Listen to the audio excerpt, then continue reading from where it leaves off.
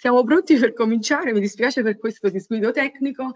Dunque, ehm, con questa miniatura vorrei aprire appunto la nostra conversazione, una miniatura che ho scelto perché illustra la, le, le, premesse e le finalità del mio intervento di oggi, intervento che mira a mettere in evidenza il ruolo di Giasone nel poema alla luce del viaggio in mare di Dante, poeta navigatore della commedia.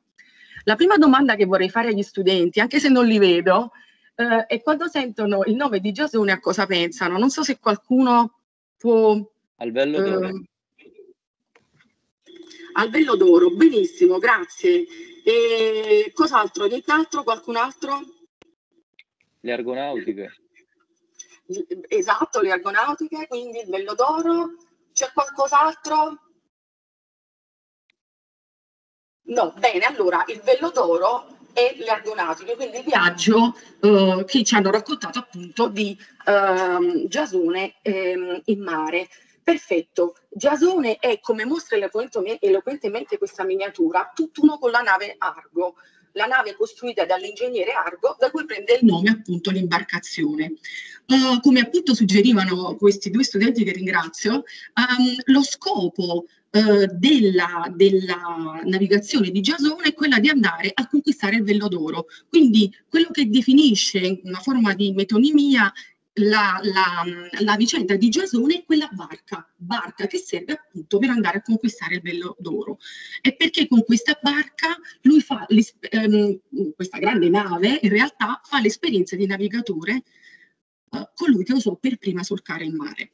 Ed è proprio questa dimensione marittima di Giasone nel mito che lo vede protagonista che mi interessa, benché in una pagina di grande filologia Ernest uh, Curtius a proposito del topos della nave e uh, della, nella non letteratura europea. schermo, Roberta, scusa se ti interrompo.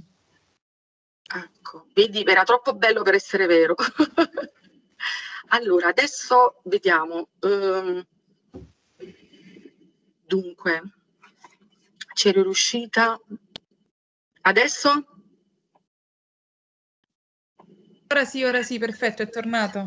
Sì, quindi come, come giustamente suggerivano anche um, eh, eh, i due studenti o i colleghi, non so, ma prima, um, la, la, la, l'imbarcazione e la nave Argo e il, il Bellodoro vanno insieme in una forma appunto di intesa metonimica.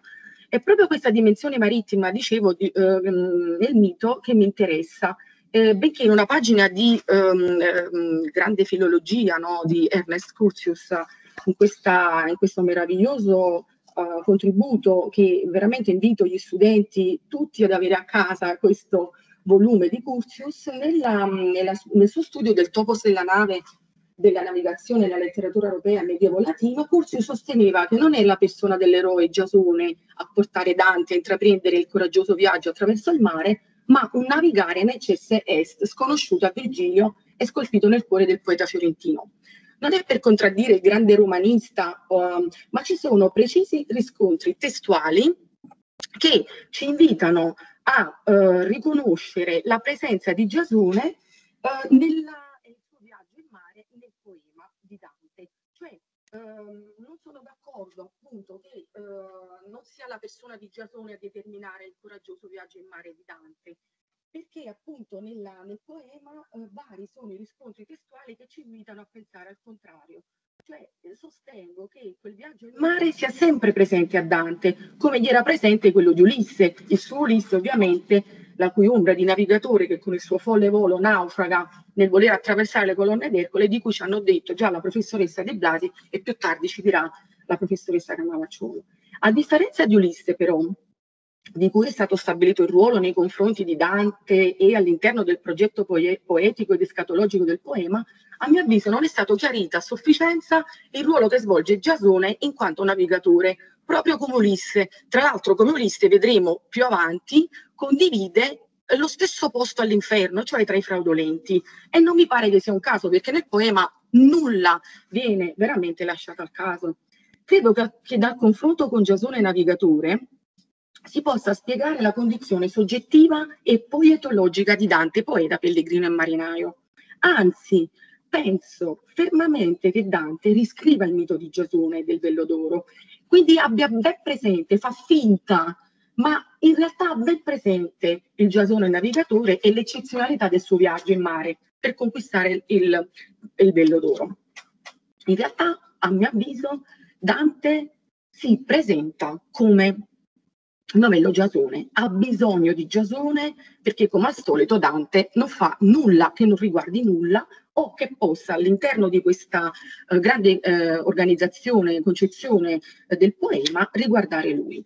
Quindi qual è lo scopo di questa conversazione? È eh, provocare un nuovo, un nuovo, pensiero, una nuova associazione tra Dante e uh, Giasone e Dante che si propone come novello Giasone.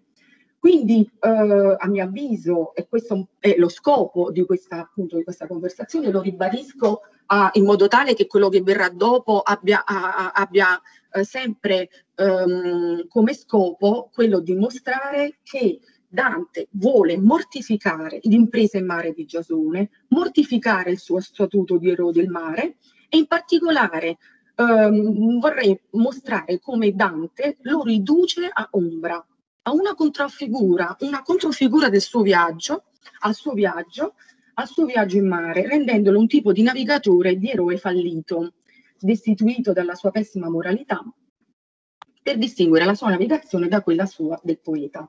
Ovviamente eh, per portare avanti questa ipotesi di lettura eh, devo uh, per forza di cose fare, eh, fare una premessa, cioè la mia ipotesi, di lettura di un Dante Pellegrino marinaio è preliminare, ma ehm, va a sfidare la lettura canonica del poema. Eh, e cioè noi sappiamo tutti che um, Dante eh, esce, eh, deve provare a uscire dalla selva oscura e fa un viaggio a piedi, e tanto vero che più di una volta, soprattutto quando ehm, procede il suo viaggio verso le parti più profonde di questo imbuto no, dell'inferno, vediamo che Dante ci, eh, ci fa notare la difficoltà no, del viaggio a piedi, dove deve mettere i piedi per per non cadere, però eh, è anche vero che eh, nella mia ipotesi di lettura di un Dante Pellegrino marinaio, Dante attraversa l'aldilà anche come una traversata in mare. E, e questo è fondamentale, questa premessa, cioè di Dante che si presenta come pellegrino marinaio, perché eh, altrimenti sfugge questa associazione tra Dante e marinaio navigatore e Giasone navigatore. Uh, una mia invenzione? No. Uh, sostengo che, lo sostengo in questo, in questo, ultimo libro che ho pubblicato appunto il mare salato, che l'itinerario verso Dio di Dante è un viaggio anche in mare. Che cosa ce lo dice? Ce lo dice il testo. Uh, la prima similitudine in assoluto del poema è di Dante Pellegrino che eh, veste i panni di un quasi naufrago. Cioè voi vi ricordate che all'inizio della, del poema Dante si gira e eh, verso come farebbe un, un, appunto uno che ha appena scampato il naufragio, si volse a guardare la nave che affonda. Quindi questa è la prima immagine che ci presenta eh, Dante nei panni di un, uh, un, quasi naufrago. Andando più avanti, l'inferno viene definito il marsit crudele e il purgatorio presenta migliori acque. Di nuovo uh, ritroviamo questa, questa, questa presenza di immagini, immagini nautiche che costellano il poema, uh, credetemi, eh, ma eh, soprattutto caratterizzano le invocazioni, l'inizio di ogni cantica. Andando avanti, ehm, l'immagine qui bellissima, a cui sono molto affezionata perché appunto presenta in una maniera meravigliosa ehm, Dante poeta e Dante marinaio. Il Dante marinaio Pellegrino racconta, vedete, vedete gesticola con le mani, racconta a Dante poeta che scrive la, il racconto eh, di questo viaggio e i due, Dante poeta e Dante marinaio, sono entrambi sulla navicella, no? la navicella del suo ingegno. Um, qui, qui, siamo in purgatorio e quindi tutta la metafora, tutta la, la, la, la pregnanza, l'essenza della metafora nautica che si ripresenta all'inizio della cantica seconda. Più avanti, eh, nel mm, Paradiso, nel primo canto, ehm, Dante per eh, spiegare le, eh, la sua esper- esperienza della transumanazione, come ormai sia diventato partecipe della stessa natura del divino, cosa fa? Offre una similitudine. E che, quale similitudine è? Lui nei panni di Glauco, una bellissima immagine che ci arriva dalla, dalla mitologia di nuovo. Ricorderete di questo pescatore Glauco che secondo il mito vedeva, stava pescando e vedeva che questi pesci, una volta pescati, eh, ritornavano in vita dopo aver mangiucchiato una certa erba. Allora lui dice: Sapete cosa faccio? Ora la, l'assaggio pure io questa, questa erba. E cosa succede? Che lui diventa consorto in mar degli altri dei, cioè assume la stessa natura divina ehm, e, e, attraverso, tramite questa, questa, quest'erba che poi i commentatori danteschi ci spiegano che uh, nutrirsi di sapienza. Quindi vedete che anche all'inizio del paradiso uh, l'immagine è un'immagine marittima, nautica, che arriva dalla mitologia, però uh, Dante assume i panni di questo pescatore e um, ancora all'inizio della all'inizio di questa, di questa cantica terza, importantissimo per il nostro discorso su Giasone, um, um, fa affidamento a un'altra immagine, quella della che eh, Beatrice questa volta ad utilizzarla. Beatrice viene definita ammiraglio eh, di Dante nel, nel poema. Eh, di nuovo Beatrice questa volta si rifà la metafora del mare, del porto nel gran mare dell'essere, che appunto la miniatura illustra benissimo, e ehm, di nuovo eh, l'immagine mh, mm, nautica e marittima che è, eh, viene illustrata in questa miniatura che apposta ho scelto in apertura della nostra conversazione perché vede anche Giasone, vedete a sinistra, ehm, in questa immagine che illustra eh, ancora Paradiso, Paradiso, secondo canto del Paradiso, Uh, come uh, con la sua uh, imbarcazione, il navigio, entri nell'oceano e il suo legno che il suo poema che cantando varca. Quindi tutte le cantiche della, della commedia iniziano in, con una dimensione marittima, con immagini nautiche e noi ritorneremo su questi versi perché appunto qui è coinvolto direttamente Giasone.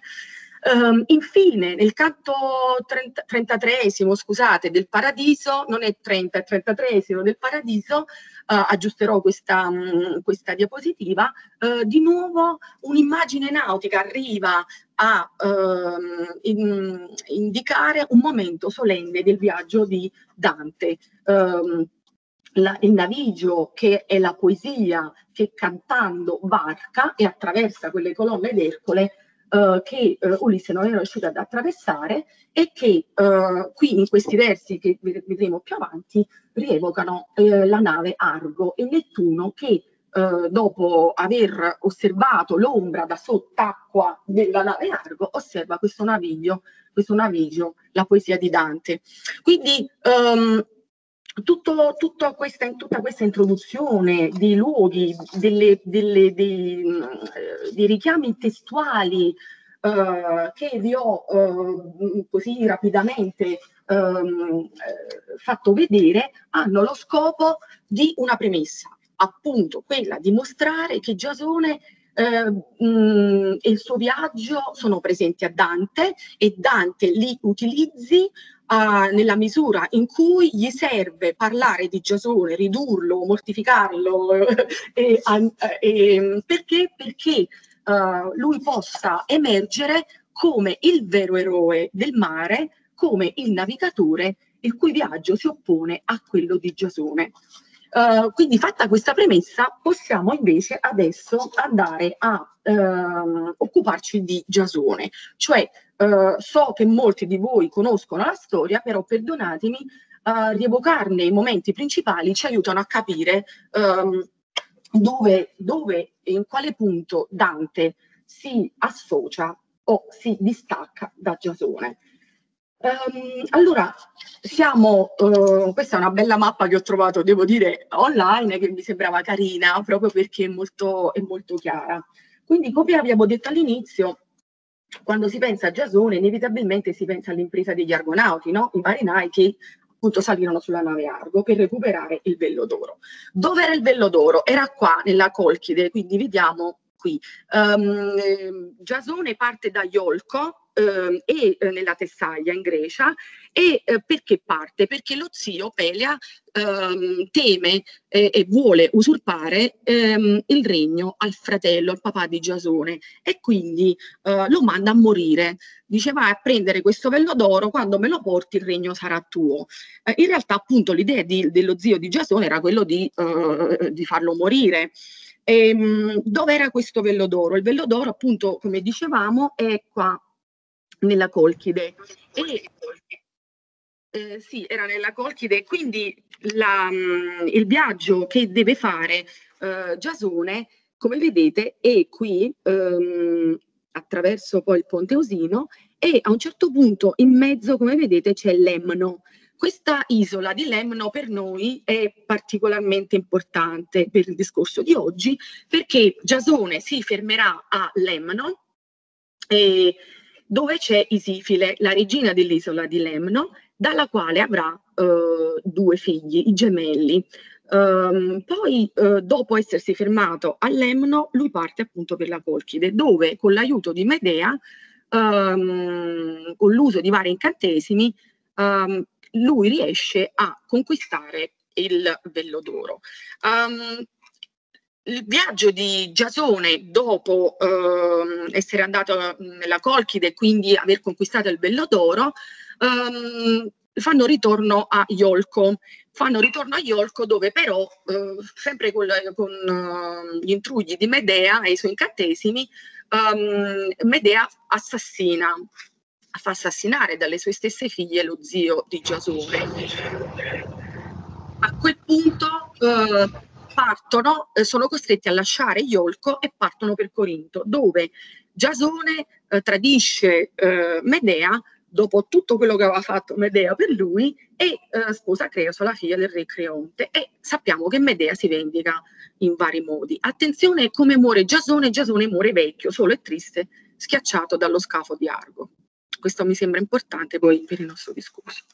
Ora, quali sono, um, quali sono le prove di Giasone le prove che Giasone deve compiere per mh, mm, eh, ottenere il bello d'oro. Anche queste, facciamo attenzione a queste tre prove. Eh, abbiamo detto che Medea aiuta Giasone eh, con vari incantesimi a conquistare il vello d'oro. Il vello d'oro era um, stato posto su un, uh, un albero pare che anche Elle e suo fratello abbiano viaggiato, si siano serviti di questo vello dell'ariete quando erano scappati dal padre a causa della, um, della loro matrigna.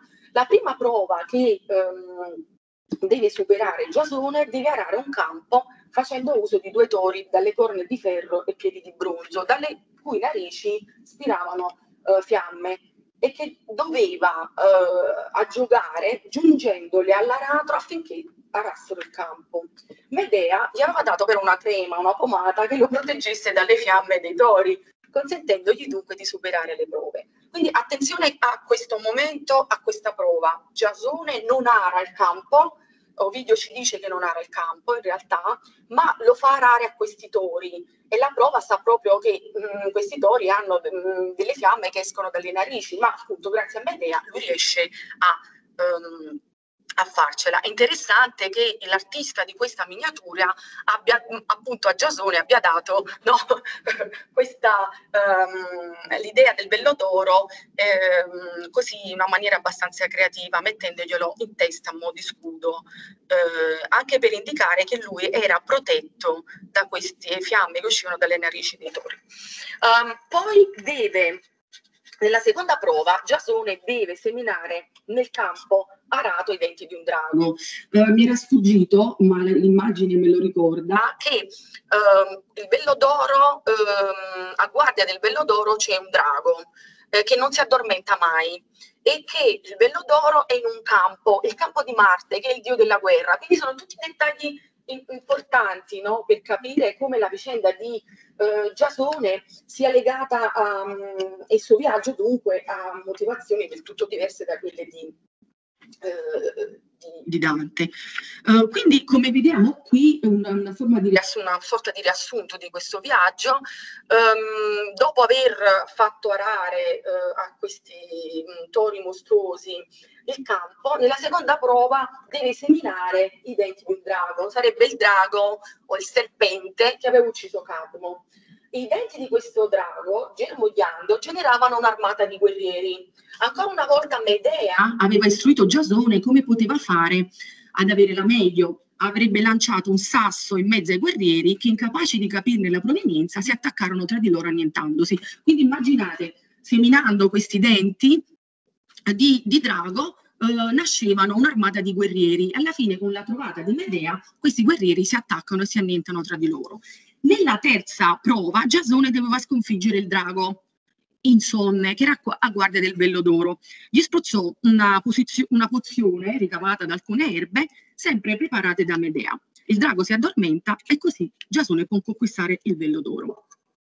In questa immagine eh, riassuntiva, se possiamo dire, eh, della, di tutta la vicenda di Giasone, mi piace perché eh, Argo è lì, sullo sfondo, a ricordarci che tutto questo uh, che succede nel campo di Marte dove c'è il vello d'oro e tutto quello che succede in mare è strettamente legato, uh, come appunto ho provato a mostrare all'inizio con quella bella miniatura um, che mostrava Argo, um, da una parte Giasone e gli Argonauti dall'altra Giasone che sconfigge il drago per conquistare il vello d'oro. Qui c'è un'immagine macabra proprio eh, vicino alla, allo spettatore che è il papà di Medea che raccoglie le membra eh, frammentate del fratello di Medea. Medea per amore di Giasone Uh, per ritardare um, il, il, padre e i suoi uomini ai quali avevano sottratto il tesoro, um, uccide il fratello in modo tale che il padre per piangere sulla, sulle membra disfatte del fratello um, non eh, si um, affrettasse a, a, raggiungere Medea e, um, e Giasone. Quindi Medea eh, che eh, in questa immagine assolutamente macabra ma eh, eloquente prende i tesori del padre e fugge con Giasone sulla nave Argo, quella nave che era partita per conquistare il vello d'oro, adesso si lega a tutta una serie di inganni e di crimini. Ricordiamo che appunto il nome di Medea proprio quello, significa proprio astuzia, quindi um, uh, qui mi avvalgo di immagini, miniature che arrivano dalla, dalle, dalla, delle traduzioni in francese del De Casibus, Uh, di Boccaccio dove appunto c'è un grande uh, spazio viene dedicato appunto alla caduta dell'eroe Giasone. Uh, Dunque, il viaggio in mare di Giasone e la conquista del Vello d'Oro vanno insieme. Um, Giasone, dov'è Giasone? Abbiamo, abbiamo, chiaro lo scopo a questo punto della traversata in mare di Giasone, che si mette in, ma in mare appunto per il Vello d'Oro e le prove che deve superare. Come lo rappresenta Dante? Dante lo rappresenta tra uh, i peccatori di malizia nella prima bolgia del cerchio ottavo, Uh, I peccatori di malizia, uh, di cui hanno parlato sia il professor Varela che il professor um, um, uh, le, le, entrambi hanno parlato l'altro giorno, scusatemi, adesso sono, non vedo i volti di nessuno, vedo solo, sento me stessa e vedo le immagini, mi sembra di parlare da sola. E, ehm, e quindi è importante subito stabilire che posto occupa eh, Giasone all'inferno. Nella prima bolgia del cerchio ottavo, tra i peccatori di malizia, i fraudolenti. Uh, Giasone è tra uh, i, uh, per capirci, guardiamo alla mappa dell'inferno, Giasone è, sarebbe qui, dove ehm, ci sono i, i, ruffiani e i, um, i seduttori. Perché è tra i seduttori. Um, Dante segue um, l'ipotesi di Stazio uh, che lo, lo, rappresenta come lusinghiero a irretire le vergini inesperte. Um, I seduttori e i, uh, i ruffiani, che differenza c'è tra i seduttori e i ruffiani? I ruffiani sono coloro che mediano affinché qualche altro uh, abbia il vantaggio eh, di stare con, con, con, una vittima, con una donna. Um, la, pensiamo alla Celestina, per esempio, no? per fare un esempio che magari è familiare a molti, no? dell'anziana. Um, e i seduttori invece sono uh, quelli che um, seducono e, per il proprio, per ottenere un vantaggio personale, per un proprio vantaggio. Quindi in questi versi, ehm, attenzione, siamo all'inferno diciottesimo, appunto Giasone, che riconoscerete qui perché a differenza degli altri ha questo aspetto solenne della barba, vedete c'ha anche i, i capelli, eh, l'artista così ha voluto indicare Giasone. Uh, attenzione qui a questi versi perché um, in questi versi dove viene presentato Giasone la sua colpa, quello di aver sedotto uh, le vergini inesperte, beh, aver sedotto uh, Isifile sull'isola di, di, Lemno e poi Medea, um, qui in mare l'esperienza di Argo degli Argonauti non c'è, non c'è traccia di questo viaggio, però c'è un accenno al vello d'oro sottratto ai colchi. Uh, vedete che dice i colchi del montone privati fene. Quindi ehm, perché abbiamo detto già prima che eh, il bello d'oro è un tutt'uno, va insieme al viaggio, eh, però il viaggio di Giasone e, mm, e la sua nave Argo qui non viene menzionata. Ed è importante questo dettaglio che sembrerebbe ozioso perché um, Dante ha presente eh, il viaggio ovviamente ma comincia qui la uh, presenza di Giasone punito per aver ingannato. Um, un altro dettaglio non casuale a cui vogliamo um, dare la giusta attenzione è che Dante um, non presenta Giasone, che pure è tra i fraudolenti, come qualcuno per il quale ha curiosità, no? vuole sapere, è intrigato. No, lo ignora, lo disprezza e non gliene importa affatto. Tanto vero che Dante scrive che il buon maestro senza mia domanda mi disse, cioè Dante non gli importa assolutamente di Giasone, ma lo fa apposta per dare al lettore la giusta condanna, il giusto disprezzo nei confronti di chi per cuore e per senno aveva tutte le carte in regola per essere un vero eroe. Guarda quel gran che bene, per dolor non par lacrime spanda. È Virgilio ad attirare l'attenzione di Dante verso Giasone perché um, appunto ehm, da Virgilio gli vuole far notare la grandezza, eh, la dignità, il contegno di questo, eh, di questo peccatore che è Giasone. Ma tutto questo è costruito apposta da Dante, ovviamente inutile dirlo, per, eh, per, uh, perché Dante sta preparando, sta preparando uh, la, um, il disprezzo, la, la, l'annullamento di Giasone perché possa poi emergere con più forza in paradiso che il vero eroe del mare, il novello Giasone, quello che veramente ha affrontato, osato affrontare le acque che giammai si corsero prima di lui, è, è, è Dante. Ma qui um, cos'altro vogliamo notare? Che l'unico dato geografico ad alludere alla navigazione di Giasone è l'isola di Lemno. Con il verbo passare, con il verbo passare, passò per l'isola di Lemno. Qui, qui è il peccato di Giasone, quello che eh, di aver eh, approfittato, abusato, eh, tratto vantaggio dalla ospitalità di Isifile. Quindi um, la, il peccato di Giasone viene così topograficamente indicato in quell'isola. E ripetiamo, nel viaggio non c'è un accenno eh, chiaro ed esplicito come si fa per esempio con Ulisse, ma um, solamente con questo accenno all'isola di Lemno.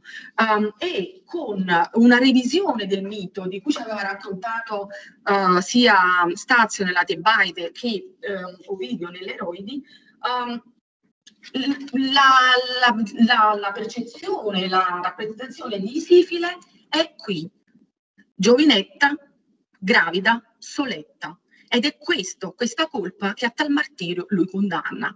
Ma andiamo a guardare queste, la definizione di uh, Isifile, che a mio avviso uh, è il personaggio fondamentale per, um, che è stato poco studiato, per capire l'impatto della, della gravità uh, del peccato di Giasone peccato che andò a corrompere poi la sua dimensione di eroe per Dante.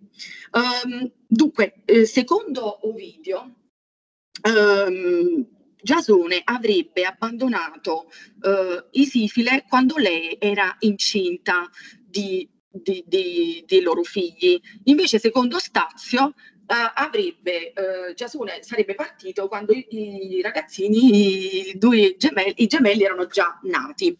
Um, ma chi è Isifile? Perché questa, um, questa, sua presenza nel poema è fondamentale, perché io ritengo che sia tra Giasone e Dante.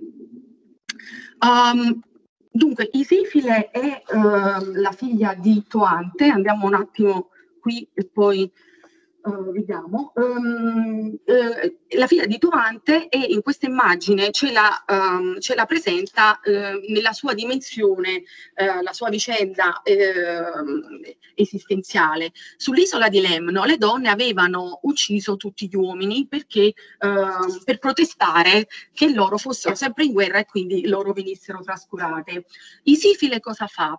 salva il padre e inganna, mente alle altre donne dell'isola dicendo di averlo ucciso. In realtà questo rogo alle spalle di Sifile Uh, ci ricorda nell'essenzialità che poi hanno queste miniature che uh, lei finse uh, un rogo eh, per i funerali del padre, ma in realtà, come vedete, come questa bellissima, dolcissima immagine filiale, di pietà filiale, che lei con una mano quasi saluta il padre e lo manda ehm, sull'isola di Chio, cioè la speranza eh, almeno era quella perché il mare è infestato di pirati. E, ehm, e volevo farvi ehm, notare che qui quando Dante dice qui vi consegna con parole ornate Isifile ingannò la giovinetta che prima aveva tutte le altre ingannate Dante ci sta dicendo che sì, anche Isifile aveva ingannato. Uh, aveva ingannato le altre donne dell'isola quindi anche lei è vittima di un inganno, però noi la troveremo più avanti, lo scopriremo, al limbo. Perché? Perché l'inganno di Sifile è stato per salvare il padre, quindi dettato da pietà, pietà, pietà filiale. E il fatto di dire che la giovinetta pure aveva, anche lei, eh, perpetrato, un, perpetuato un inganno a danno delle altre donne dell'isola, serve ad esasperare l'inganno di Ulisse, eh, di, di Giasone, l'inganno di Giasone eh, è di altra natura, perché è andato a um, uh, infrangere quel rapporto di fiducia che c'era con, um, con, un altro individuo, un individuo che non, non, stava scritto da nessuna parte che dovesse fidarsi di, uh, di Giasone.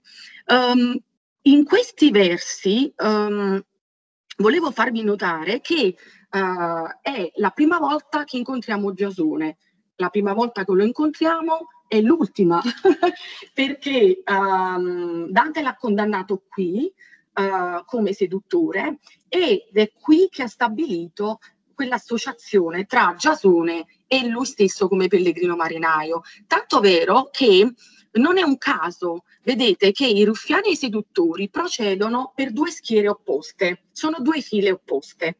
Uh, vedete che da una parte vanno i ruffiani e dall'altra vanno i uh, seduttori. Dante dice con un'immagine bellissima, con quel suo realismo domestico, se possiamo dire così, che uh, a Natale, a Natale del 1299, in occasione del, del giubileo l'anno successivo, uh, molti fedeli arrivarono a Roma e sul ponte di Castel Sant'Angelo per dividere quelli che uscivano e quelli che entravano dalla, dalla Basilica di San Pietro venne messa una transenna Dante dice che i ruffiani seduttori sono divisi come in due schiere come quelle appunto del, che vennero um, poi fatte nel, nel 1299 in vista del giubileo.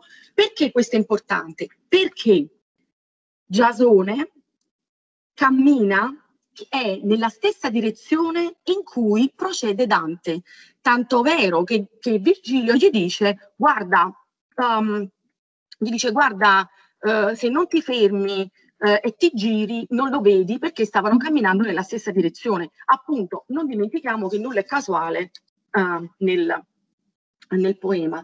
Quindi a mio avviso lì già è stata uh, e c'è già la spia che sì, io e te Giasone siamo, diciamo, andiamo nella stessa direzione, tutti e due abbiamo fatto un viaggio in mare, però tu qua, io qua sono di passaggio e tu invece ci resti è un po' quello il, il, succo. Quindi abbiamo visto che Isifile è eh, fondamentale, figura chiave nei versi che introducono Giasone nel, nel poema e eh, è figura chiave perché ehm, lei ehm, non è ehm, l'eroina che eh, piange eh, o fa le vendette come fa Medea perché Giasone l'ha abbandonata per un'altra.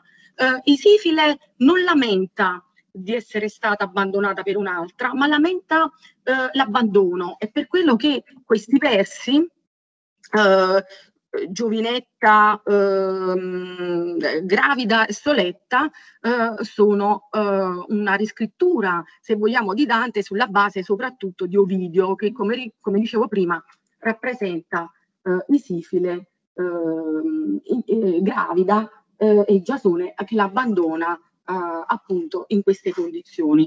Um, qui vediamo che um, Isifile è costretta prima a far partire il padre, ma poi a far partire anche i ragazzi, perché appunto uh, sull'isola tutti gli uomini um, venivano uccisi. Come vediamo queste donne vestite in, in abiti no, militari che uh, incombono su Isifile la sicurezza dei figli.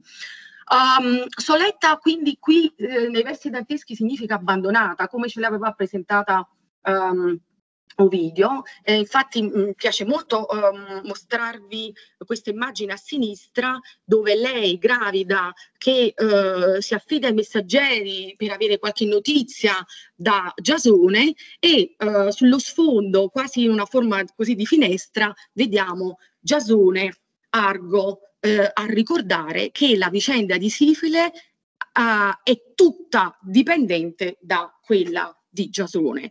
Um, quindi l'immagine della solitudine non, non, è veramente quella che compete a um, a Isifile, piuttosto appunto ci tenevo a sottolineare che sta per abbandono.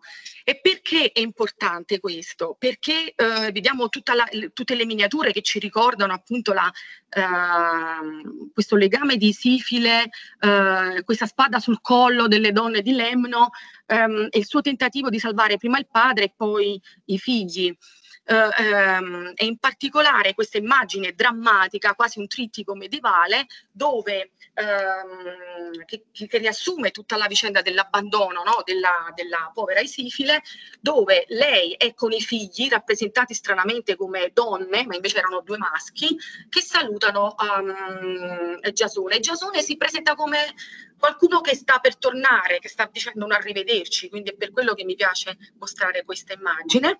E, um, e dunque il ruolo che Isifile ha um, qui Uh, in un canto dedicato alla prima bolgia dei seduttori uh, all'interno di, uh, di, questa categoria di peccatori che hanno peccato di malizia e fraudolenti in particolare, la colpa di Giasone è che con segni e parole ornate ha sedotto una giovinetta e quindi la scelta di definirla tale acuisce ulteriormente le colpe di Giasone, lasciandola soletta e gravida, eppure la lasciò.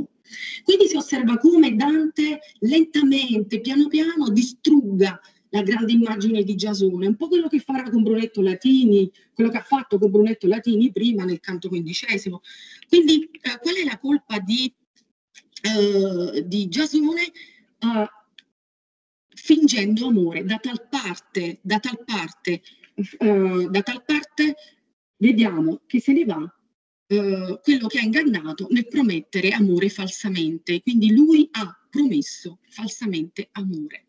Ingannare con i segni e parole ornate è ben altra cosa dall'orazione picciola di Ulisse. La vera natura della sua frode che spezza il legame di naturale amore, quell'amore che lega gli uomini tra loro, Giasone seduce per piegare le donne ai propri voleri, l'inganno di cui si servono a danno delle proprie vittime per raggiungere i loro fini è una promessa, sono parole, parole, parole false.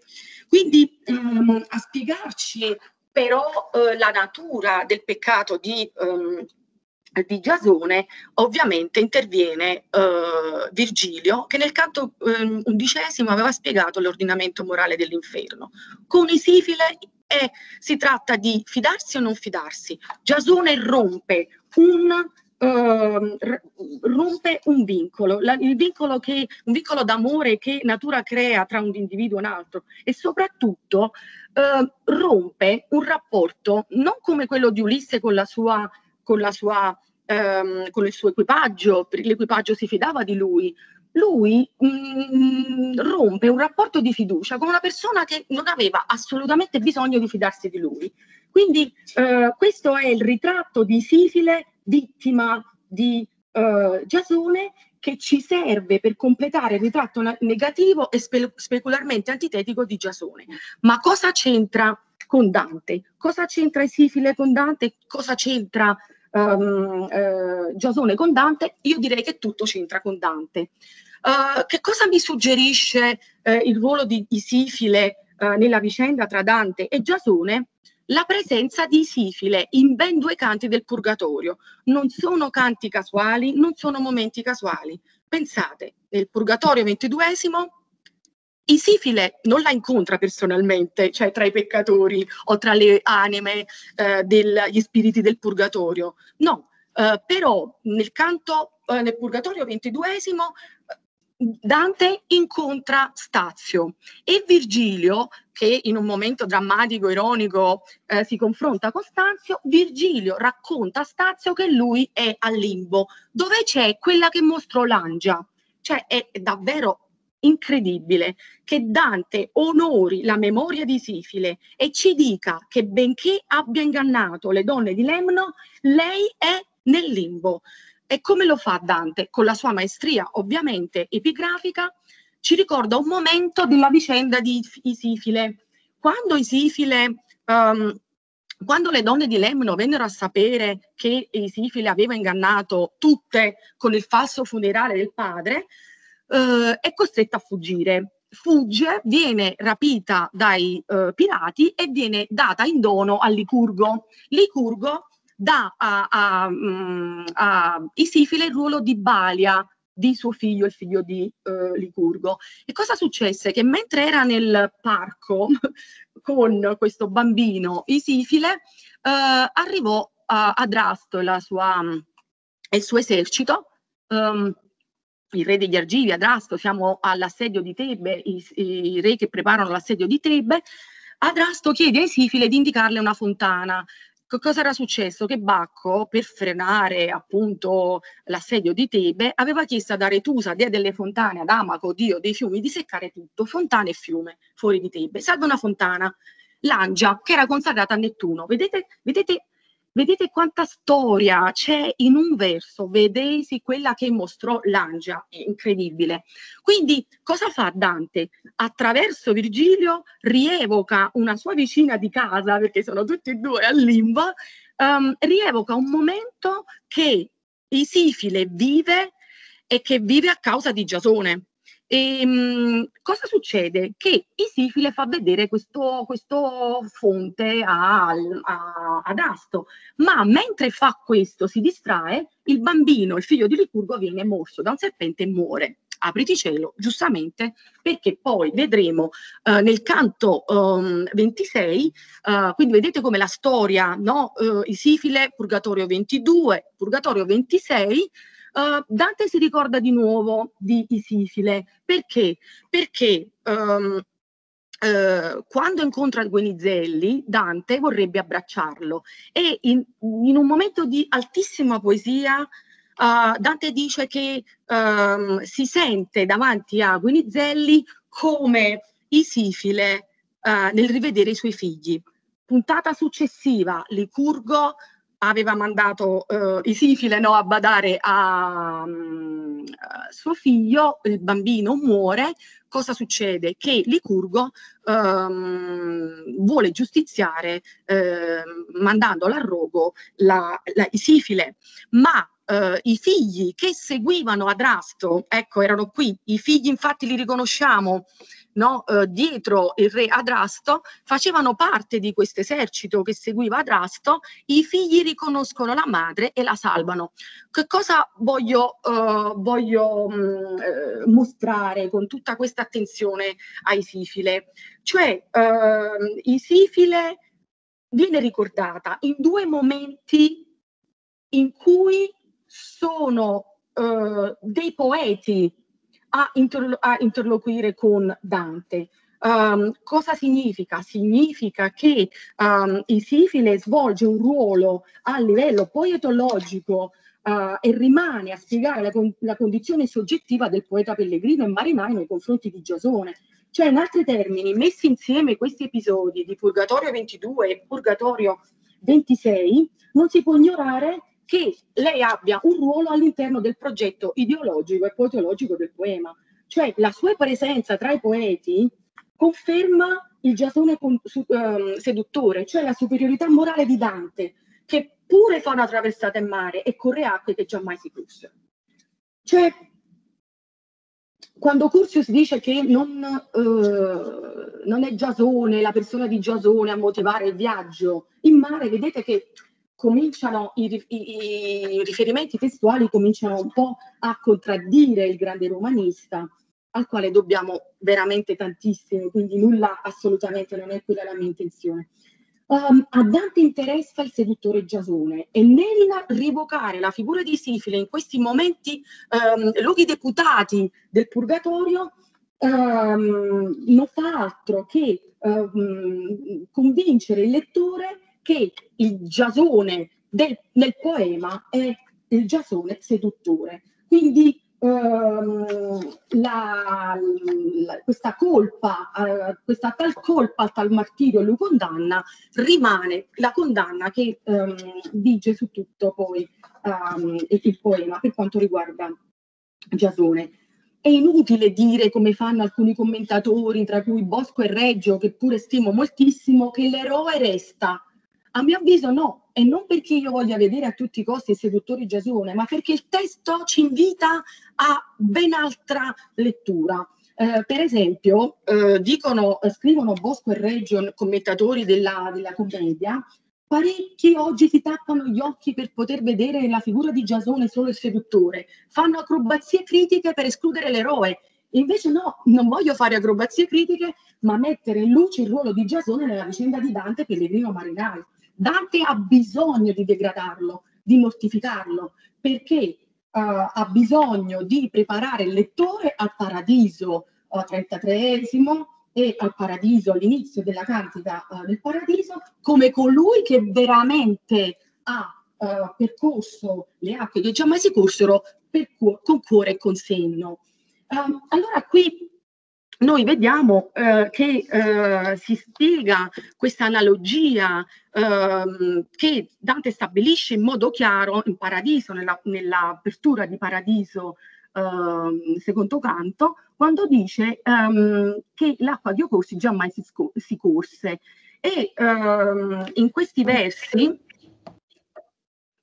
in questi versi um, Giasone Uh, ci sono tantissimi riferimenti al mito di Giasone e degli Argonauti, però Giasone viene presentato come bifolco. Tra l'altro, attenzione perché nel mito Giasone non ara, fa arare Um, quella era la prova, no? I, i tori, uh, i tori mostruosi dalle cui narici usciva, uscivano appunto le fiamme, ma qui questi versi è vero, come ha, sicuramente ha detto la professoressa De Blasi ieri, sicuramente qui c'è uh, il richiamo a Ulisse, l'Ulisso di Dante, ma molti sono riferimenti al, al mito di Giasone. Per esempio, um, quando uh, qui Uh, l'acqua che uh, giammai che io prendo giammai non si corse, vorrei andare un attimo qui, uh, è una riscrittura del verso um, di Ovidio del mare non notum, così quando dice che quei gloriosi che passarono al colco, i colchi ammirarono.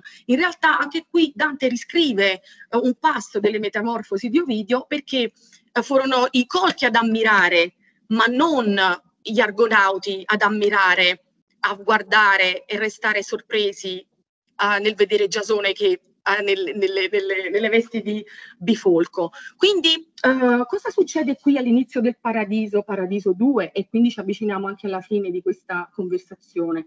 Che um, Dante lo presenta come uh, nelle vesti del bifolco, e, um, ma tutti, tu, tutti questi versi richiamano invece l'impresa di Giasone in mare. Um, ha ragione benvenuto da Imola, raffinata seggiata della commedia, quando uh, questa similitudine, uh, l'acqua che ho preso giammai non, non si corse, scusate, stabilisce una, una, una, una simulazione tra uh, Dante e Giasone. Giasone per, prima, con, per primo con grossa nave entrò in alto mare, come Dante, primo poeta con sublime ingegno, entrò nella materia del paradiso ma la sua impresa è diversa. Giasone conquistò un tesoro, Dante il sommo bene.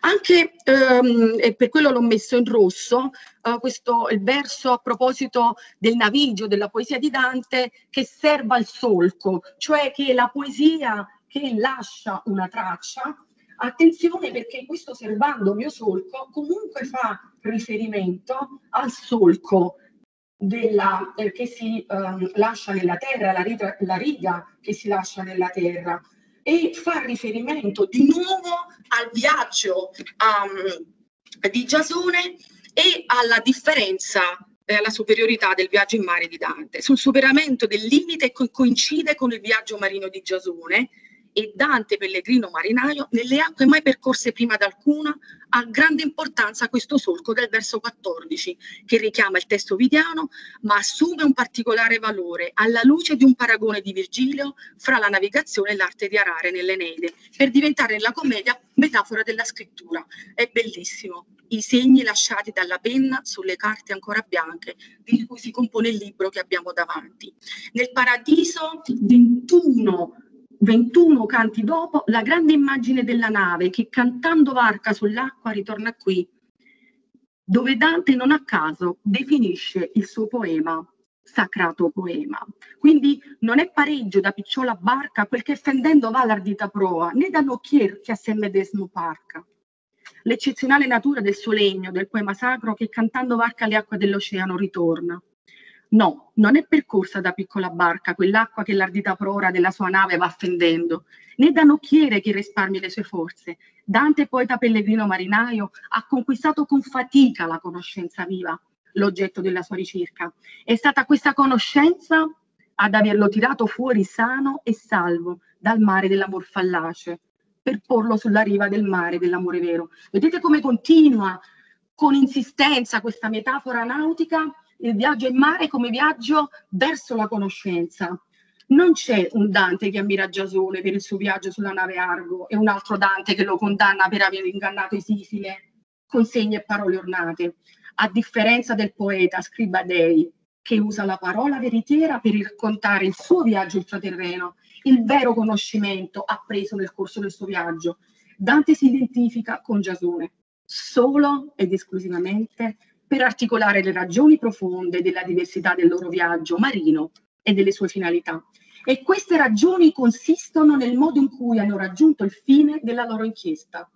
La differenza è tutta nel modo in cui procede da una parte il viaggio marino della nave Argo, portato a termine grazie alle parole ornate di Giasone, e dall'altra quello del legno del poeta, effettuato con altra voce, con altro vello siamo in paradiso, paradiso 25, con altra voce o mai, con altro vello. Ho i brividi ogni volta che metto io mano a questi versi, perché qui c'è Giasone, Giasone che vuole tornare a Iolco, al suo bello vile, e qui c'è Dante che vuole tornare a Firenze.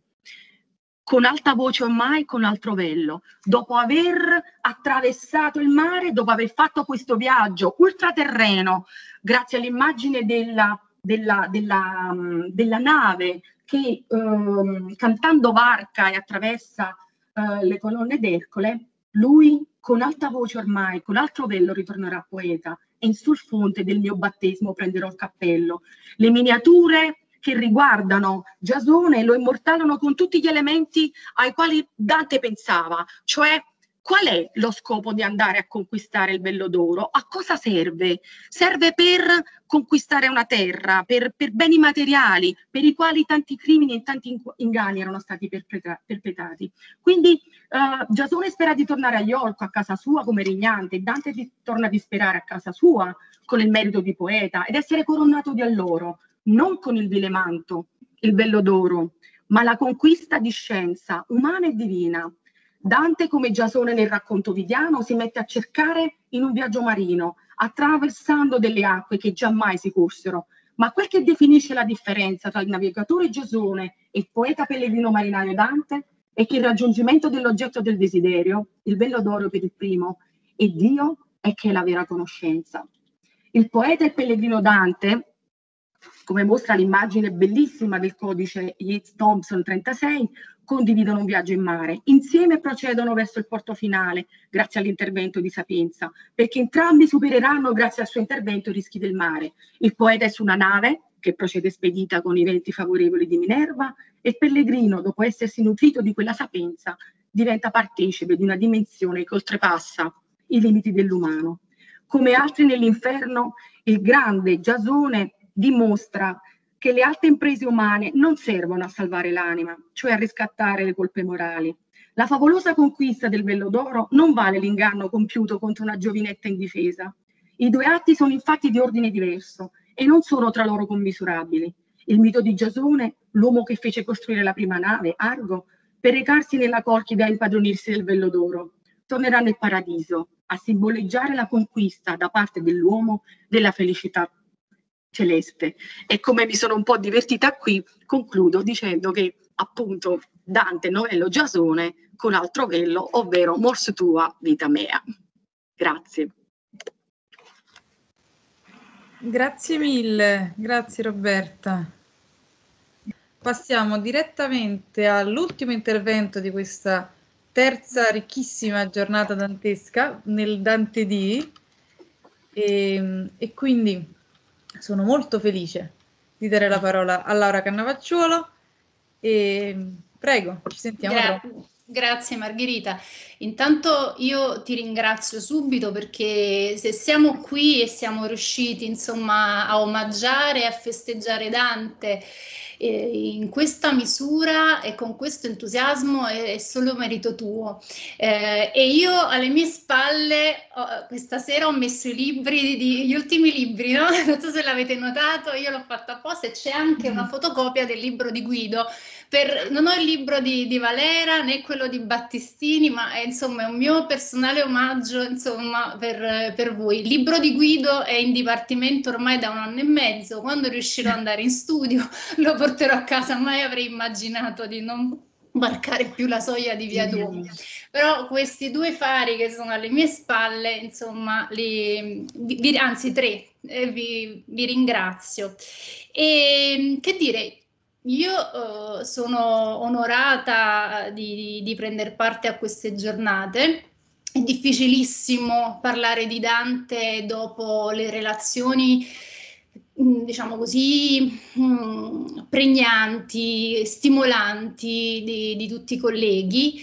E sono ammirata, sono ammirata dalle, dalle, vostre parole, dai vostri ragionamenti, ho preso appunti, peraltro la, lo spunto sulla, sulla barca Arca mi ha ricordato da Rigo, Orcinus Orca, un passaggio di questo romanzo. Io credo che sicuramente ci sia una rete intertestuale dantesca, non so se sia stata anche messa a frutto, però mi ha, mi ha aperto mondi, oltre al fatto che è, è, bellissimo come tutti i relatori abbiano saputo proprio... Ehm, intersecare le fonti, i ragionamenti, eh, il materiale iconografico, testuale, per cui questa è veramente un'occasione di, di, di studio e di confronto importante.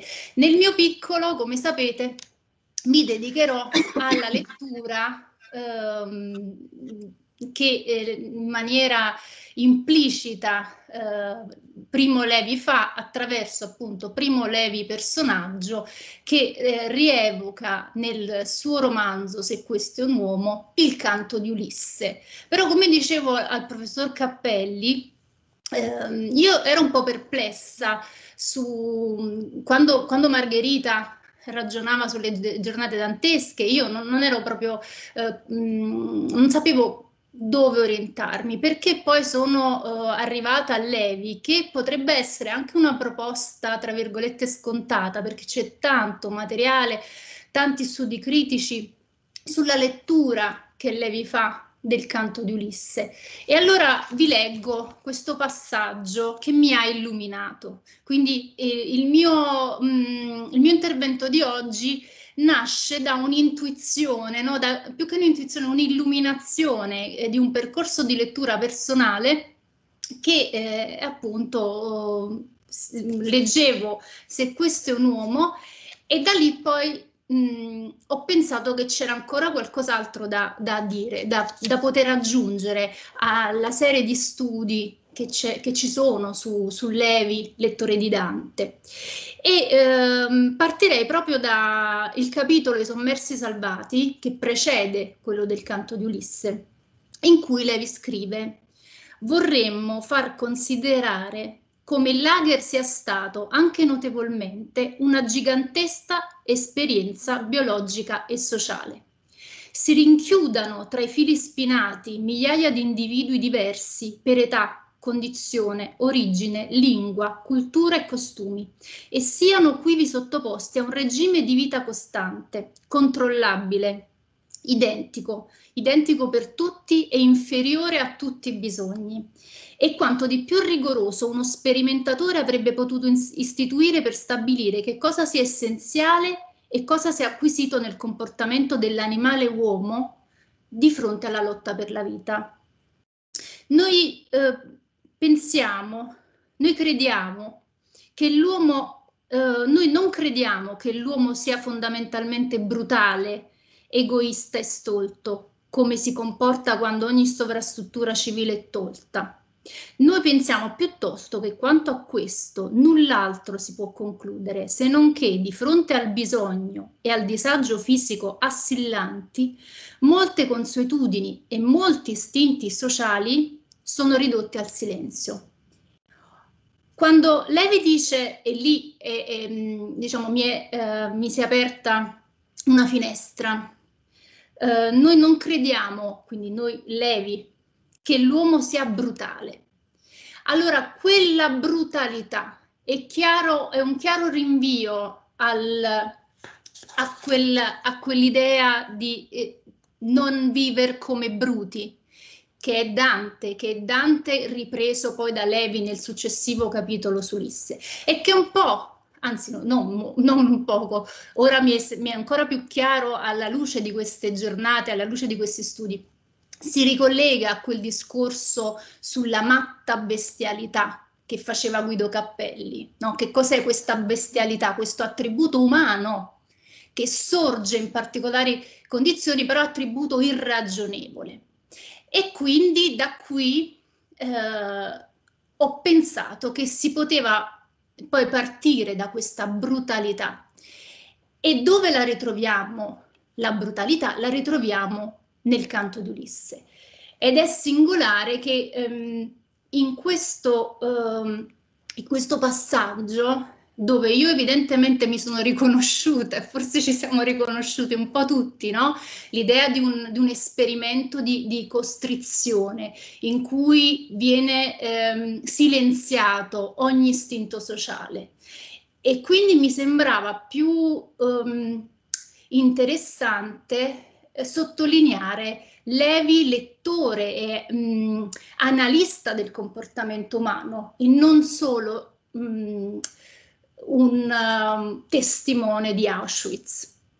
Però da Auschwitz partiamo. Per cui um, noi sappiamo che Levi nel 1943 viene catturato in Val d'Aosta. Lui si trova a San Vincent con la sorella per fuggire Faccio questa premessa inevitabile perché ci sono studenti, probabilmente molti avranno studiato a scuola Levi, lettore di Dante, però eh, è d'obbligo. Quindi nel 43 Leve viene catturato, viene eh, in, insomma reso prigioniero per, per un mese nel, um, appunto in Val d'Aosta, dopodiché viene mandato al campo di Fossoli e da lì verrà uh, deportato ad Auschwitz. A questo proposito, um, vivendo il... vedete? Non so se vedete il PowerPoint. Vediamo, vediamo tutto. Perfetto. Allora, um, ora sopravvissuto alla vita del lager, una volta rientrato eh, in Italia, Levi decide di eh, raccontare eh, l'indicibile, l'indicibile orrore nel suo primo lavoro che è appunto Se questo è un uomo. Sappiamo, sapete che Se questo è un uomo ha due edizioni, quella del 47, la prima De Silva Editore e poi la seconda, quella che avrà poi maggiore successo, quello che gli, che gli consentirà insomma anche no, numerose traduzioni per Enaudi nel 1958. Ecco, la cosa particolare che ehm, appunto riguarda ehm, che, che, che, colpisce di Dante che Dante sappiamo che era un chimico, ma dopo il lager sente quest'urgenza di scrivere e quest'urgenza di scrivere lui la tematizza in più occasioni. In una di queste, infatti, come vedete, dice se non avessi vissuto la stagione di Auschwitz, probabilmente non avrei mai scritto nulla. Non avrei avuto motivo, incentivo per scrivere. I problemi di stile mi sembravano ridicoli. Mi pareva, questo libro, di averlo già in testa, tutto pronto, di doverlo solo lasciare uscire e scendere sulla carta. Quindi è un'operazione paradossalmente facile, cioè l'urgenza di testimoniare e ehm, la sensazione di avere uno stile e un modello di struttura già ehm, presente. Questo modello di struttura è la commedia. Leggiamo infatti in un'intervista eh, di Greer del 1985, eh, quando ritorna sull'argomento, sull'urgenza di scrivere e quindi e anche sui legami e con la commedia, dice quando fu il momento e dovetti scrivere questo libro e allora avevo davvero un bisogno patologico di scriverlo, trovai dentro di me una sorta di programma e si trattava di quella stessa letteratura che avevo studiato più o meno con riluttanza, di quel Dante che ero stato costretto a leggere alla scuola superiore, dei classici italiani e così via. Quindi Dante, ehm, scusatemi, Levi confessa di essere stato un pessimo eh, letto- piuttosto un lettore disattento di Dante, ma di aver comunque assorbito quelle informazioni, ma anche quelle suggestioni, no? senza manco esserne consapevole, che poi mette a frutto eh, in maniera istintiva quando si trova per la prima volta davanti alla pagina bianca del suo primo romanzo, quindi alla sua prima di prova di scrittore. Ovviamente ehm, nella Divina Commedia, eh, nella, mm, in Se questo è un uomo i riferimenti alla commedia sono tantissimi e sono soprattutto legati, per i motivi diciamo, che possiamo comprendere, all'inferno. Le ragioni di, di questa simmetria eh, sono evidenti uh, a tutti, eh, c'è una specularità rappresentativa forte tra uh, l'inferno dantesco, la concezione dell'inferno dantesco e uh, l'inferno in terra rappresentato dall'Ager. Chi, diciamo, lo, lo, il critico che eh, sottolinea tra, tra, i tanti no, con maggior veemenza questa simmetria è proprio eh, Steiner che dice il campo di concentramento incarna spesso fin nei minimi particolari le immagini e le cronache dell'inferno nell'arte e nel pensiero europeo dal XII al XVIII secolo, ma nessuna opera uguaglia la completezza delle osservazioni di Dante. I campi di concentramento e di sterminio del XX secolo ovunque esistano, sotto qualsiasi regime, sono l'inferno reso immanente. Sono un trapianto dell'inferno dal sottosuolo alla superficie della terra. Ovviamente avrei potuto scegliere tanti altri ehm, studiosi, ma eh, Steiner si è ehm, concentrato spesso no, sulla sulla riflessione sul, mm, sull'olocausto e, e, quindi anche su questa um, sull'iconografia, sulla um, qualità rappresentativa dell'inferno e certamente la sua riflessione è, è, centrale ed è pertinente al nostro caso. Quindi sul binomio lager-inferno che è esplicitato da Levi e ha delle ragioni narrative e rappresentative abbastanza evidenti, noi possiamo eh, appunto eh, ragionare proprio come molti studiosi hanno fatto, ehm, guardando come mh, mm, proprio all'interno del, di Se questo è un uomo mm, ad esempio Levi prelevi concetti particolarmente iconici del, um, dell'inferno dantesco, ad esempio il limbo, malebolge, la bolgia,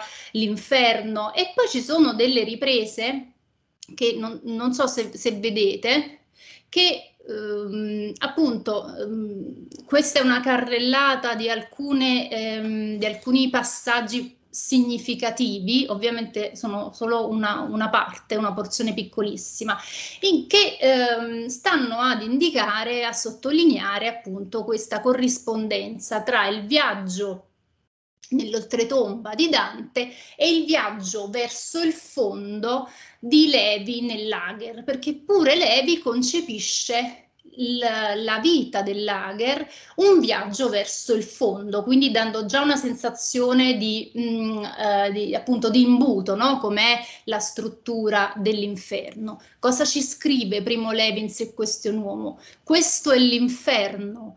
Oggi ai nostri giorni l'inferno deve essere così, una camera grande e vuota e noi siamo stanchi di stare in piedi e c'è un rubinetto che gocciola e l'acqua non si può bere e noi aspettiamo qualcosa di certamente terribile e non succede niente e continua a non succedere niente. Ci sentivamo dall'altra parte. Questa prima lunghissima giornata di antinferno volge al termine. Questa è una casa dei morti, questo complicato mondo infero la musica che sentiamo è infernale e poi l'immagine del fondo, in viaggio verso il nulla, in viaggio all'ingiù, verso il fondo. Eccomi dunque sul fondo. Queste sono solo alcune delle espressioni, delle immagini che Levi usa per marcare no? questa somiglianza, questa relazione tra l'inferno dantesco e um, il lager, la vita del lager. Ovviamente però il, um, il luogo dove questa um, relazione, questa connessione, che non è solo una connessione intertestuale, ma vedremo è qualcosa di più, è più evidente e marcata, è certamente il capitolo che si intitola Il canto di Ulisse. E quindi um, è, è, chiaro che per, uh, come dire, leggere quel capitolo è necessario fare una piccola parentesi. Io sono, sono, grata a Margherita De Blasi che mi ha praticamente spianato la strada, quindi io dirò pochissime cose sul canto di Ulisse che è stato esaminato e analizzato e sviscerato ieri in maniera perfetta. Um, dirò solo quello che serve uh, per, per il nostro Levi. Allora, diciamo che il, um, mi, mi rifaccio anche a, a una lettura molto bella, a un libro che consiglio ai ragazzi, che è questo, L'ombra di Ulisse di Boitani. Se non l'avete letto, ve lo consiglio anche sotto l'ombrellone, perché è davvero un viaggio meraviglioso, no? anche per l'ottica uh, comparatista. E lui dice cose um, interessanti. Mi serviva un, un testo no? che potesse uh, spaziare visto il, il, lavoro che faccio diverso no, da quello dei, dei, colleghi. E cosa ci dice Boitani? Mm, sottolinea che a Dante, eh, che voleva narrare di Ulisse, si presentavano tre tradizioni mitiche e letterarie di grande autorevolezza. Queste tre tradizioni mitiche ve le riassumo ehm, e poi non so se i colleghi sono d'accordo, però insomma io prendo, prendo Boetani. La prima è ovviamente quella legata all'Ulisse fraudolento, ingannatore, che inganna con l'uso malizioso della parola. L'altro, quello, l'Ulisse, la tradizione legata all'Ulisse eh, condizionato da questa spinta conoscitiva forte no? del varcare i confini e poi una terza tradizione eh, che, che vedeva Ulisse quasi come una prefigurazione di eh, Cristo, in che misura eh, l'Ulisse legato all'albero davanti alle, alle sirene ehm, veniva interpretato, era stato interpretato quasi come una figura cristologica. Ebbene, l'Ulisse di Dante, sottolinea Boitani, riprende eh, queste tre tradizioni, le eh, reinterpreta, le fa sue e dà vita a un personaggio che Boitani definisce sovversivo, no? perché rompe con una tradizione classica e apre al moderno. Ma non è questo il discorso che... Ehm, che, che voglio fare? Voglio sottolineare che, come diceva Margherita De Blasi ieri, il canto eh, dantesco eh, dedicato ad Ulisse, il ventiseiesimo canto, sottolinea, rimarca non tanto aspetti che riguardano il peccato in sé, ma mm, mi sembra sottolineare soprattutto questi, i, questi tre elementi, ovvero l'avventura, la saggezza e il naufragio, in che senso? L'avventura lo abbiamo visto, no? il percorso di Ulisse attraverso il Mediterraneo, no? la, la, definizione de, delle isole che, che, attraversa. Poi la dimensione della saggezza, quindi il connubio virtù e conoscenza, che quasi vale, eh, passatemi diciamo, la, la, semplificazione, quasi vale a parziale riscatto no? della condanna, mi, mi, questo spingere su questo elemento, anche se poi appunto eh, alla fine eh, il mare si chiude sopra la barca eh, di Ulisse che, che, che, naufraga. Quindi il terzo elemento è il naufragio, ma il naufragio spiega Dante è dovuto al fatto che il viaggio di Ulisse non è mh, protetto dalla, dalla, grazia divina, non è benedetto, a differenza, non è santificato, ecco, e invece il viaggio di Dante è, eh, gli consentirà la, la salvezza, no? E, e quindi quello che, che, che, viene sottolineato del ventiseiesimo sono proprio questi tre aspetti. L'avventura, la dimensione della conoscenza che è fortissima, fondamentalmente nella tradizione noi ci ricordiamo di Ulisse per, per l'orazione picciola molto più che per il suo peccato e ci ricordiamo del naufragio. Ed ecco, rispetto a questi eh, tre elementi, vediamo eh, che tipo di lettura fa Levi adesso. Allora, um, quando uh, nel, diciamo, a distanza di, di, di, di, quasi 40 anni dall'uscita di Se questo è un uomo, Levi nei Sommersi Salvati ritorna un po' sulle sue opere. Non so se qualcuno di voi ha letto questo, questo libro, è un libro saggio, ehm, incentrato sul valore della memoria. Anche questo è un testo capitale, io ve lo consiglio, anche l'incipit dei, memo- dei, dei Sommersi Salvati è importantissimo, è su una ricognizione sul valore della memoria e anche sull'inaffidabilità della memoria. E quindi proprio partendo dal ragionamento sulla memoria inaffidabile fatta da un testimone, quindi è un Levi che si mette in discussione, no? mette la sua testimonianza sul banco degli imputati, ebbene mh, lui ragiona su se questo è un uomo e dice queste cose. Quando parla di Se questo è uomo parla del canto di Ulisse, a sottolineare quanto quel, eh, quel capitolo di quel romanzo sia stato fondativo per tutta una serie di discorsi. Non è casuale che lui scelga quel capitolo e non per esempio quello che vi ho eh, citato io all'inizio, no? i sommersi salvati.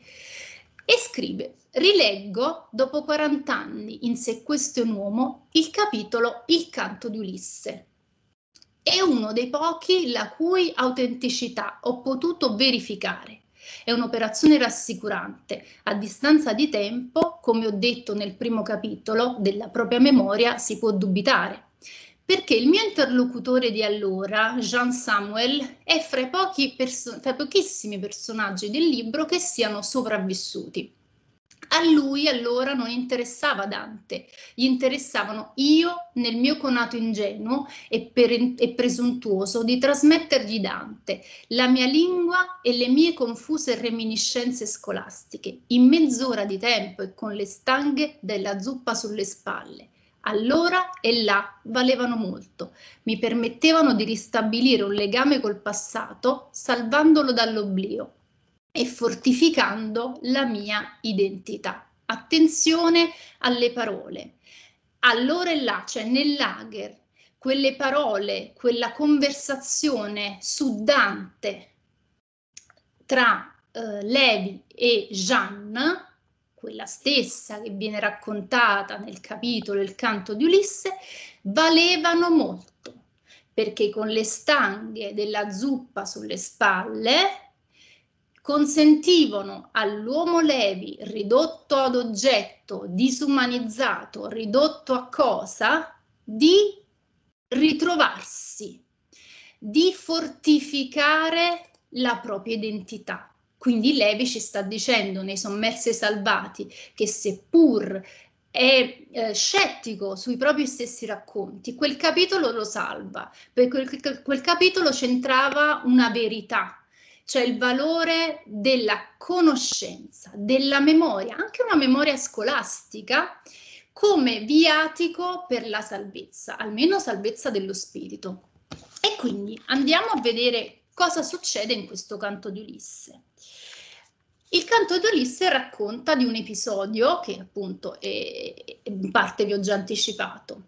Levi e il piccolo, cioè Jeanne, il piccolo era uno una, una, figura all'interno del campo di concentramento che eh, insomma aveva un, funzioni eh, diciamo organizzative e gestionali all'interno di un piccolo comparto. Di questo comparto faceva parte Levi e il piccolo, quindi Jean, ehm, chiede a Levi di accompagnarlo a recuperare il rancio, il pentolone della zuppa che doveva sfamare, per cui questa operazione dura diciamo tra il tragitto, il carico e lo scarico, una, una mezz'ora, 40 minuti, immaginiamo che sia un tempo molto breve.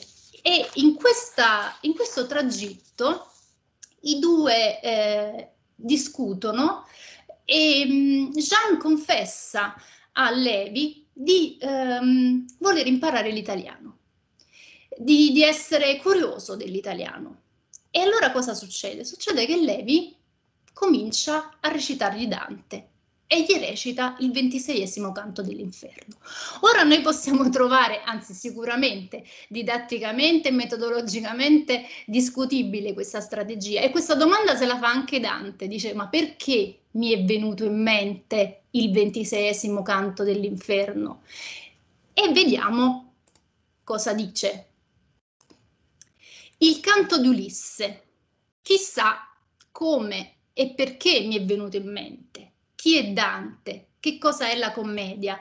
Quale sensazione curiosa di novità si prova se si cerca di spiegare in breve che cos'è la Divina Commedia, come è distribuito l'inferno, cosa è il contrappasso, Virgilio e la ragione, Beatrice e la teologia, Gianni è attentissimo ed io comincio lento e accurato. Lo maggior corno della fiamma antica cominciò a crollarsi mormorando, cosa succede? Succede che mh, Levi eh, si interroga no, su, questa, su, questo lampo, su questa reminiscenza scolastica, però poi procede perché, eh, perché deve farlo e, e, non si fa più domande e comincia a recitare, solo che mentre recita le terzine che aveva imparato a scuola ha dei voti di memoria e lo dice che gli mancano, gli mancano dei versi e allora fa la parafrasi, fa una parafrasi che è eh, diciamo abbozzata perché è difficilissimo tradurre dall'italiano al francese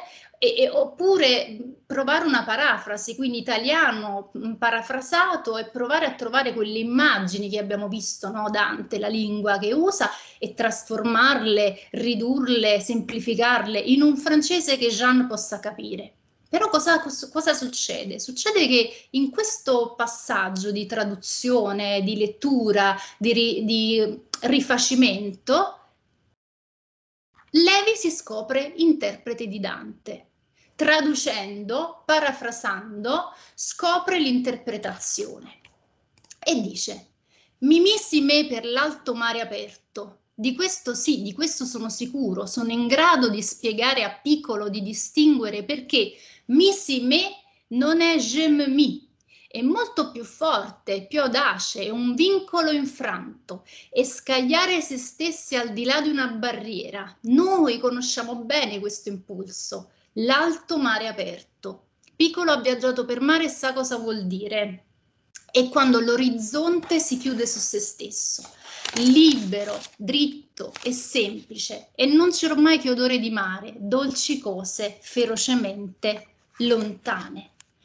Ecco, cosa, cosa succede? Che per la prima volta Levi, leggendo quel verso di Dante, lo comprende o quantomeno lo riconosce, perché l'interpretazione è riconoscimento, è un, un far proprio, un, un, messaggio. E quindi scopre in quel, um, in, in, quel, in, quella, in quel desiderio di Ulisse di varcare, di buttarsi nel mare aperto, pur sapendo di lasciare Telemaco, la moglie, il padre, scopre se stesso e scopre anche il rischio, no? lo dicevo ieri parlando con, con Margherita. Un altro aspetto che mh, colpisce è, ehm, è quando lui dice si mette dovevo venire nel lager per accorgersi che è la stessa espressione di prima, è miss in me, ma non ne faccio parte, non ne faccio parte, Jean, non sono sicuro che sia un'osservazione importante. E ancora, consider- allora da qui, quindi questo processo di interpretazione arriva poi a comprendere i versi della orazione picciola, che conoscete bene, considerate la vostra semenza, fatti non foste a vivere come bruti, bruti, ma per seguir virtù e conoscenza. Come se anch'io lo sentissi per la prima volta, come uno squillo di tromba, come la voce di Dio. Per un momento ho dimenticato chi sono e dove sono. Piccolo mi prega di ripetere, come buono piccolo, si è accorto che mi sta facendo del bene, o forse qualcosa di più. Forse, nonostante la traduzione scialba e il commento pedestre e frettoloso, ha ricevuto il messaggio, ha sentito che lo riguarda, che riguarda tutti gli uomini in travaglio, a noi in specie, e che riguarda noi due che possiamo ragionare di queste cose con le stanghe della zuppa sulle spalle. Quindi il, perché l'intuizione? Perché quando um, in questa lezione improvvisata di italiano Levi uh, rievoca le terzine famose um, del ventiseiesimo, ha un'illuminazione, le riscopre, le rilegge e sente che qualcosa lo riguarda. E un altro passaggio importante è quando più avanti lui ricorda quel come altrui piacque. Ulisse eh, naufraga come altrui piacque. Il naufragio di Ulisse è un naufragio, secondo Dante, ehm, inevitabile, come piacque a Dio, quell'altrui è Dio. E allora di fronte a questo altrui, queste, questi versi, ecco una nuova illuminazione, ecco nuova, un nuovo modo per comprendere se stesso attraverso il testo di Dante. Trattengo piccolo. È assolutamente necessario e urgente che ascolti, che comprenda questo come altrui piacque, prima che sia troppo tardi. Domani lui o io possiamo essere morti o non vederci mai più. Devo dirgli qualcosa di gigantesco che io stesso ho visto ora soltanto. Il perché del nostro destino, del nostro essere oggi qui. Quindi in quel come altrui piacque del ventiseiesimo e in questo rapporto di specularità che vede eh, Levi ehm, sentirsi il doppio di Dante ma anche il doppio di, di Ulisse, sì, è come se mm, si dicesse, ma può essere che il naufragio uh, è il compimento della volontà di Dio, cioè può essere che il, il lager è il compimento della volontà di Dio, cioè che noi siamo qui per un disegno e quindi la mancanza di senso, la brutalità, l'annientamento umano abbia comunque un senso per altrui? Questo è un interrogativo che lui si pone ed è l'illuminazione, il momento in cui e questa illuminazione avviene attraverso Dante, attraverso la lettura, attraverso il testo. Se non ci fosse stato Dante, questa, questo motore immaginativo, ma che è anche autoanalitico, non sarebbe scattato. E, que- e suona più che mh, come dire negativo, no? eh, l'idea che Dio possa volere eh, una condizione di annientamento sì, simile, all'interno del, del, capitolo suona più come una, una, un moni, una riflessione consolatoria, ecco, un, un, appunto, un riempimento di senso di un prigioniero che ridotto a cosa, ridotto a niente, e comincia a ragionare e, e trova il senso che è più forte dell'annientamento, quindi è quasi come un, un, un principio di resistenza che nasce nella, eh, nella, psicologia di Levi. E quindi quando, ehm, anche se cosa succede? Che il, ehm, il capitolo si chiude come si chiude anche il ventiseiesimo sul celebre verso infin che il mar fu sopra noi rinchiuso, perché il ventiseiesimo si chiude con Ulisse che ehm, viene, diciamo, con la barca di Ulisse, come ricordava Roberta, Margherita, che affonda e quindi il mare si chiude sui personaggi e non c'è il Dante che alla reazione, no? ma si chiude su queste immagini. Così anche il capitolo Il canto di Ulisse si chiude con i versi di Dante. Ora, questo mare che si rinchiude ehm, e dà un senso certamente di, di, di, di oppressione, no? di, vanificazione di ogni tipo di speranza. Però è qui, diciamo, in, inizia una lettura che, che, è un po' il percorso de, della mia ricerca su Levi. No? Vi, ho, vi, ho, fatto una panoramica riprendendo studi, eh, magari anche cose eh, conosciute, e ora vediamo invece eh, di vedere dove ci porta il canto di Ulisse all'interno di Se questo uomo. Eh, cosa possiamo aggiungere rispetto a tutti questi studi che ci sono e che ci saranno? Um, che funzione ha il canto di Ulisse all'interno del, di Se questo è uomo? È solo un, um, un momento per eh, sottolineare l'importanza della conoscenza e della memoria per l'uomo? È solo un momento di tregua nella vita del lager? Perché alla fine il capitolo si chiude col mare che si rinchiude, quindi immaginiamo che il momento del rancio di questa lezione tra Piccolo e Levi sia questo piccolo idillio e, e poi dopo si ritorna. C'è qualcosa però che cambia, almeno a mio avviso e mi pare di, di, di, ave, di, riuscire a dimostrarlo. Per dimostrarlo però dobbiamo ritornare a Steiner e eh, a quel, quell'opera poderosa che è Dopo Babele, che probabilmente qualche studente avrà già incontrato. In Dopo Babele eh, Steiner dice una cosa molto importante su quello che è il rapporto tra la lingua e la temporalità dice l'uomo soltanto ha evoluto una grammatica della futurità. Ne possiamo, noi uomini, possiamo essere definiti un mammifero che usa il futuro del verbo essere. Questa immagine è bellissima, però dobbiamo leggerci il passo per entrare e poi capire qual è la parte conclusiva del mio discorso, perché ci siamo quasi, non vi preoccupate. La provvista di concetti e di atti verbali che incarnano il futuro è indispensabile alla conservazione e all'evoluzione della nostra specifica umanità, come la provvista di segni è indispensabile all'economia del cervello. Tagliata fuori dalla futurità, la ragione si seccherebbe. Chiusa la porta sul futuro e su tutta la percezione, ogni conoscenza diventa inerte. Non potrebbe esistere alcuna storia personale né sociale, così come la conosciamo, senza le fonti vitali costantemente rinnovate delle proposizioni al futuro. Esse costituiscono ciò che Ibsen chiamava la menzogna vitale, quel dinamismo complesso di proiezione, di volontà, di illusione consolatoria, dal quale dipende la nostra perpetuazione psichica e presumibilmente biologica. Vi possono essere spasmi di disperazione nell'individuo e nella comunità, ma queste tentazioni nichilistiche restano fatti saltuari e sul piano stilistico rari.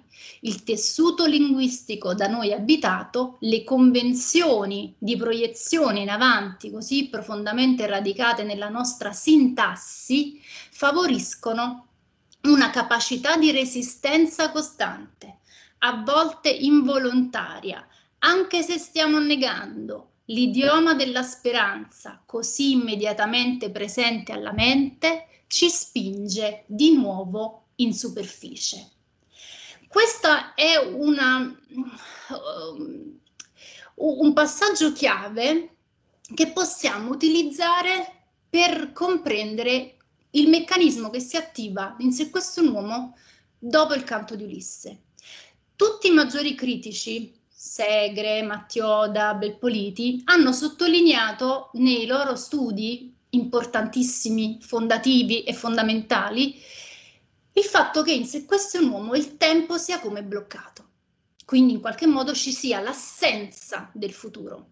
Come si blocca il tempo? No? Se noi siamo biologicamente votati nella sintassi, nel lessico, nella nostra conversazione comune. Questi nei, i critici con tanto uh, di argomentazione hanno dimostrato come per esempio i tempi verbali di se questo uomo, quelli dominanti, siano il presente e il passato, quindi il futuro non ci sia. Come manchi un lessico del futuro o quantomeno il lessico legato al futuro o le proposizioni legate al futuro siano marcate da una sensazione di blocco, no? una negazione del futuro, cioè il futuro esiste ma negato, cioè l'unico futuro possibile probabilmente è la morte il sapere di andare alla morte. E così eh, succede, nel senso che mh, mm, io vi ho messo qualche eh, passaggio e per, per, per darvi un'idea, no? è chiaro che ci uccidono, chi crede di vivere è pazzo, io ho capito che sarà finita, il problema del futuro remoto è impallidito, perché i problemi sono quelli del futuro prossimo, a dare un colpo di spugna al passato e al futuro si impara assai presto se il bisogno preme. Quindi noi vediamo, e, e, e non si può non essere d'accordo con gli studiosi, che il tempo, il trattamento del tempo nega assolutamente il futuro, lo blocca nel lager. Dopo il canto di Ulisse però c'è qualcosa, c'è qualcosa che cambia ed è questo diciamo il, il mio piccolo studio che eh, ho portato avanti rapidamente. Innanzitutto c'è una um, riappare così, non era mai apparsa prima la parola speranza. Anche se eh, Levi la definisce un sentimento assurdo, contrario alla logica, però ammette di, di avere una speranza, cosa che prima non aveva. Succedono dei fatti, succede che all'interno del racconto ehm, siamo nel momento in cui i prigionieri sanno che i russi stanno per arrivare. Però eh, questa, questo racconto c'era anche prima, non era creduto, poi qualcosa cambia. E, ehm, e quindi sopraggiunge questa speranza. Riappare la parola domani, il domani è il futuro. All'inizio questo domani sembra inerte, no? Un, il domani che sarà come, come oggi. Poi però c'è qualche incertezza, cioè di fronte alla negazione del domani eh, si paventa l'ipotesi che il domani possa non essere del tutto scritto, cioè c'è una probabilità che seppur minima rappresenta un'apertura in quelle condizioni. Più avanti andiamo e vediamo che il, il romanzo, se questo è un uomo, apre lo, il suo spazio a quella che Steiner definisce la grammatica della futurità. Come li vediamo? Compare il futuro, il futuro remoto, no? linguisticamente, non è prossimo. I russi verranno. Dopo, se ritorneremo, sì, certamente, faremo tutto quanto possibile per lui. Stava per accadere qualcosa di grande e di nuovo. Si sentiva finalmente intorno una forza che non era quella della Germania. Si sentiva scricchiolare tu, tutto quello, quel mondo maledetto. Vedete che le pagine sono in progressione verso la fine. In quell'ora il ricordo dei salvamenti biblici, biblici nelle avversità estreme passò come un vento per tutti gli animi. Io pensavo che la vita fuori era bella, e sarebbe ancora stata bella e sarebbe stato veramente un peccato lasciarsi sommergere adesso. E poi al 23 gennaio era così. Per la prima volta del, dal giorno del mio arresto mi trovavo libero, senza custodi armati, senza reticolati fra me e la mia famiglia. Nessuno sarebbe più morto di fame. Allora, perché eh, probabilmente è, è prevedibile no, che ci sia in concomitanza della liberazione, una speranza. Il problema è il canto di Ulisse.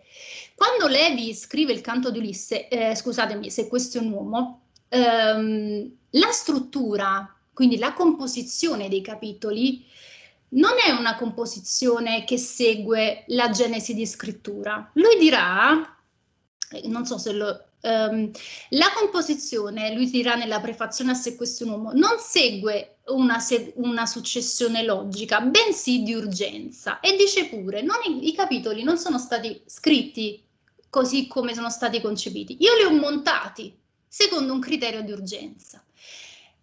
E quindi, ragionando su il canto di Ulisse, scopriamo, e mi sembra diciamo abbastanza mh, credibile questo, che il canto d'Ulisse abbia non solo quel valore che abbiamo detto prima, no? il valore della conoscenza, il principio etico, un, un, quel ragionamento lì, quindi una tregua, eh, la memoria, ma abbia anche un valore mh, strutturale, simbolico, quindi un, un valore metaletterario, perché lo mette lì nel momento in cui qualcosa poi va a cambiare.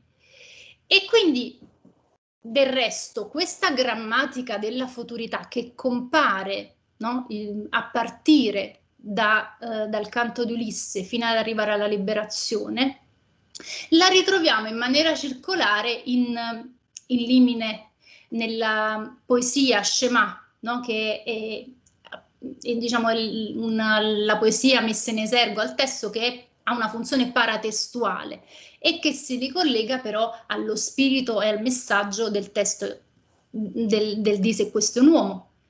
E quel considerate se questo è un uomo ha un legame evidente, rimarcato anche da eh, altri studiosi, soprattutto da Calcagno, con quel considerate la vostra semenza, che dice Dante. E quindi vedete che la composizione di Se questo è un uomo è un'architettura perfetta in cui ogni pezzo sta al suo posto ed ha una funzione simbolica e intenzionale precisa che apre la porta a eh, più livelli di lettura, che sono quelli che riguardano Levi testimone, Levi doppio di Dante, Levi doppio di Ulisse. E quindi il canto di Ulisse stesso non è solo il momento di tregua dal naufragio inevitabile, perché il mare si richiude infine, ma è uno spartiacque all'interno del romanzo, uno spartiacque di visione, di speranza inconfessabile e di necessità, di riempimento se di senso. E quindi se, ricordia- se ri- riavvolgiamo il nastro, andiamo a leggere Shema, cosa dice Levi in quella poesia meravigliosa. Meditate, considerate, ripetete, scolpite, azioni del futuro, memoria per il futuro. E quindi ehm, è chiaro che tutto il valore della lettura di, ehm, del ventiseiesimo canto che ehm, offre Levi è molto più di una semplice illuminazione perché a posteriori si legge quanto quella lezione sia mh, reinvestita di senso e sia essenziale per capire il valore, mh, eh, il valore di tutto il lavoro di Levi, connesso alla memoria e all'idea di futurità che è connaturata biologicamente nell'essere umano. E vi ringrazio.